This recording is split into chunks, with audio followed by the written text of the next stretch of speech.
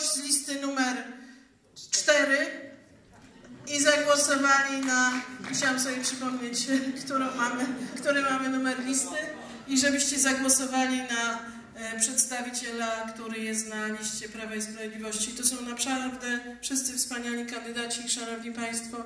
My wiemy, po co tam idziemy. No naprawdę jesteśmy zdeterminowani. Wiemy doskonale, że naszym obowiązkiem jako polityków Prawa i Sprawiedliwości, którzy przez te wszystkie lata e, włożyli bardzo dużo pracy w to, by móc zrealizować ten program, który jest potrzebny Polsce i Polakom. Naszym obowiązkiem jest tego wszystkiego bronić. Naszym obowiązkiem jest bronić Polski i Polaków, waszych interesów. Wszystkiego dobrego jeszcze raz życzę. Dziękujemy bardzo. Pani premier jeszcze nas nie opuszcza. Będzie chwila, kiedy będziemy mogli jeszcze wspólnie porozmawiać. Będziecie Państwo mogli podejść, porozmawiać z Panią premier, ewentualnie poprosić o autograf. Także zapraszam do wspólnych rozmów. I bardzo proszę orkiestrę kopalni soli w Bochni. O. Dziękuję bardzo.